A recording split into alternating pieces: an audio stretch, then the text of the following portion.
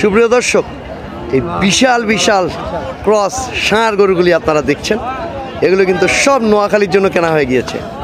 এবং আসগর ভাই এই গরুগুলিকে কিনে দিয়েছেন। এই যে আপনারা দেখছেন সাইজগুলি দেখুন। হাটের সবচেয়ে বড় বড় যে ক্রস সার গরুগুলি, আপনারা জানেন যে শীতের সময় কিন্তু এই সার গরুর চাহিদা সবচেয়ে বেশি হয়। এবং এগুলো সব চলে যাবে নোয়াখালীতে। তাজ উনিশে নভেম্বর দুই হাজার বাইশ। আমরা দিনাজপুরের কারোর হাট থেকে কিন্তু আপনাদেরকে এগুলো দেখাচ্ছি। আমরা একটু কথা বলতে চাই। ভাই আসসালামু আলাইকুম। আসসালামু আলাইকুম ভাই। একটু যদি এই পাশে আসে অন্ধকার হয়ে গেছে। নোয়াখালী কোথায়? আচ্ছা আপনাদের খামার? কতদিন ধরে এই খামার? দুই বছর। দুই বছর। এই প্রথম কারলে আসছেন? হ্যাঁ কত কারণ আসছে। এর আগে আমবারই আসছিলেন? কিন্তু গরু কিনেন নেই। কেন দাম বেশি ছিল আজকে কাহারলে কি গেছে? মোটামুটি কেনার মতো? এই এই যে এত বড় বড় গরু নিলেন এই গরুগুলি নিয়ে আপনারা কি করবেন এখন? কিছু খাবার রাখব আমরা কিছু কষাকে বিক্রি করে দেবো। আচ্ছা। মানে নগদ সেলের কারণ যেই গরুগুলি নিচ্ছেন এগুলো তো সবই তো মাংসের গরু। হ্যাঁ। এবং অনেক বড় বড় সাইজ এই যে নোয়াখালী থেকে আপনারা আসগর ভাইয়ের কাছে আসছেন একটু অভিজ্ঞতাটা জানতে চাই। ভালো ভালো ভালো হেল্প করছে। হ্যাঁ। রিসিভ করা থেকে শুরু করা সব কিছু ভালো হেল্প করছে। আচ্ছা তারপর আজকেই চলে যাবেন? হ্যাঁ এখন গাড়ি গাড়ি রেডি করছে এখন চলে যাব। গাড়ি রেডি করা হয়ে গেছে আপনারা গাড়ি আসলেই আপনারা চলে যাবেন। আচ্ছা আচ্ছা আসছি আপনার কাছে। দর্শক আপনাদেরকে আরেকবার আমরা একটু এই সার গরুগুলিকে দেখাতে চাই। এই দেখুন এই পরিমাণ। আর আমরা কিন্তু সকালে আপনাদেরকে ভিডিওতে দেখিয়েছিলাম যে কি দাম চাওয়া হয় আর আসলে কি দামে এগুলো দেওয়া হয়েছে। এখন আমরা সেই ভিডিওগুলি আপনাদেরকে দেখাবো। আপনারা আসলে তাহলে ধারণা পাবেন। আমরা একটু আজগর ভাইয়ের সঙ্গে কথা বলব। ভাই আসসালামু আলাইকুম। ওয়ালাইকুম সালাম ভাই ভালো আছেন? আলহামদুলিল্লাহ। আজকে ভাই কি অবস্থায় গেছে? আজকে খরচ গরুর পার্টি শুধু আমরা একাই হ্যাঁ। আর কেউ নাই। আজকে গরু সুতি কিনছি। শুয়ে শুয়ে গরু কিনে সুতি হয়েছে কিনছি পানের মতো দাম আজকে। আচ্ছা। এগুলা গরু যে গরু কিনছি খুব চিপ রেট কম রেটে কিনছি। দামলা শুনলে দর্শক ভাইরা বুঝতে পারব যে আজকে আমরা কি রেটে গরু কিনবো। না তা তো অবশ্যই। আচ্ছা আমাদেরকে একটু প্রথমে একটু আইডিয়া দেন যে এই যে সার গরুটা দেখছি এটার গোস্ত কি পরিমাণ হবে? সাড়ে পাঁচ মাস সাড়ে পাঁচ মন এটা কেনা হয়েছে? এটা অনলি কিনছি এক লাখ একুশ হাজার। এক লাখ একুশ হাজার। আমাদের টুম বাদ দিয়া সাড়ে পাঁচ মন মানে সেট বাদ দিয়ে সাড়ে পাঁচ দিয়ে সাড়ে পাঁচ আচ্ছা। তারপরে এই যে এইটা। এটা কিন্তু আমরা কিনছি।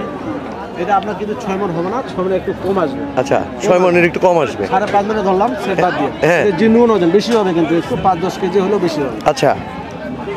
এটা কিনছি একশো বাইশ দিয়ে। একশো বাইশ দিয়ে। আচ্ছা তারপরে এই যে বিশাল হাতির মতো সাইজ হ্যাঁ আপনার থেকে বড়। এইটা আমাদেরকে একটা আইডিয়া দেন তো যে এটা গোস্ত কি পরিমাণ হবে? এটা সাড়ে সাত মন হবে। এটা তো অনেক বড় সাইজ এটা অনেক বড়।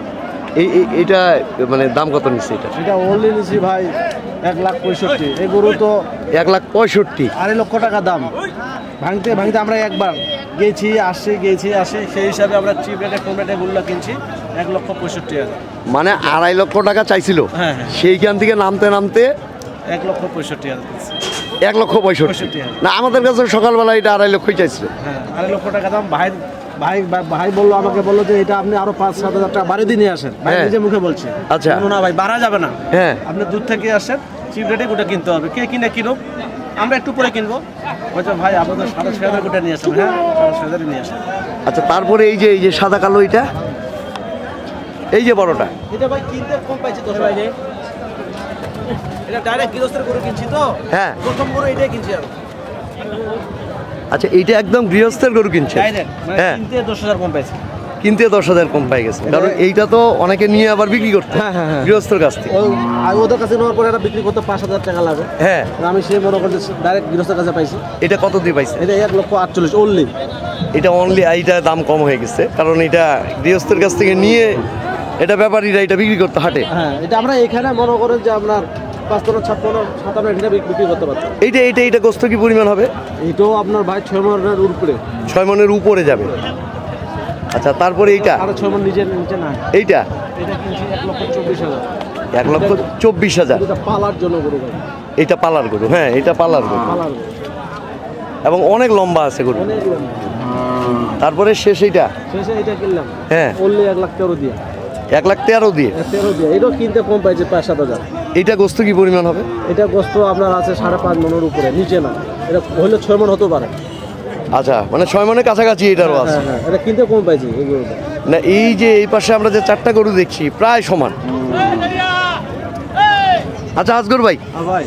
এই যে দূর দূরান্ত থেকে যারা আসে আপনার কাছে এই জন্যই আসে কারণ সবচেয়ে সস্তায় আপনি গরুগুলি কিনে দিতে পারেন তারা যেন নিয়ে যে লাভ করতে পারেন আমার কথা হলো যে ভাইরা আসবে ওদের বাজারটা দেখে আমি ভাইকে বলছি আপনি বাজারটা দেখে আসবেন।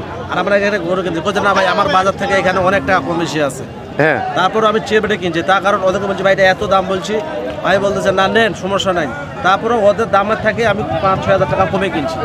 আচ্ছা। গরুগুলা। আমার কথা হলো ভাই যেন আবার বারবার আসে যে ভাই লাভ হয় ভাই যেন ভাই আমি আবার আসতেছি। এটা হলো এই কথাটা তো মনে করি মানুষ সবচেয়ে চিপ রেটে কিনে দিতে পারে না। আইডিয়াটা তো অনেকে জানে না। ওর জন্য আমি যে গরুগুলো কিনি চিপ রেটে মাপে কম রেটে গরুগুলো কিনে ভাইদের বারবার যেন আসে আমার কাছে।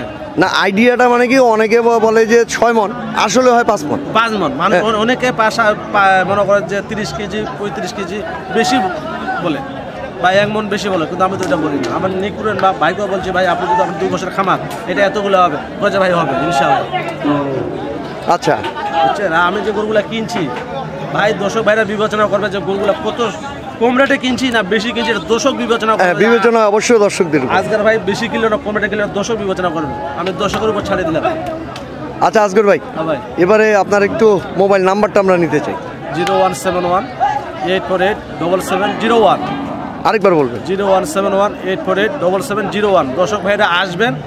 আমি আমি যতটুকু কম রেটে বা চিপ রেটে দিতে পারি একদম কম রেটে আর আপনি বাজারটাও দেখে আসবেন যে এখানে থেকে এখানে বাজারটা মিলাবেন। আমি বারবার বলি যে আপনি বাজারটা দেখে আসবেন। আপনার এলাকাটা? হ্যাঁ। আর এখানে বাজারটা মিলাবেন। আপনার বাজারে যদি নিকে লাভ হয় তাহলে গরু কিনবেন নাহলে কিনবেন আচ্ছা। বুঝছেন ভাই? অসংখ্য ধন্যবাদ আচ্ছা, আসসালাম। তো দর্শক আপনারা শুনলেন যে আসগর ভাই এই যে নোয়াখালী খামারি তাদের জন্য এই বিশাল বিশাল সাইজের যে ষাঁড় গরুগুলি কিনে দিলেন আজকে?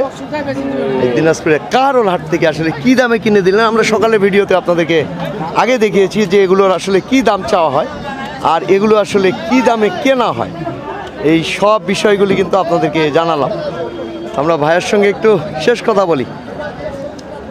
মানে এই যে দিনাজপুরে আসলেন এর আগে কোন হাট থেকে কিনছেন?